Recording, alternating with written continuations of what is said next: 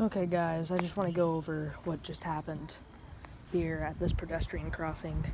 There was a dog that ran in front of the train, and when I heard the engineer rapidly blowing his horn, I thought something was wrong. So when I turned around, I saw the dog at least eight feet away from getting hit by the train.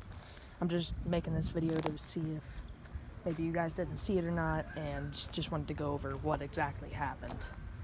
But turns out the dog is okay. So, yeah, that is all.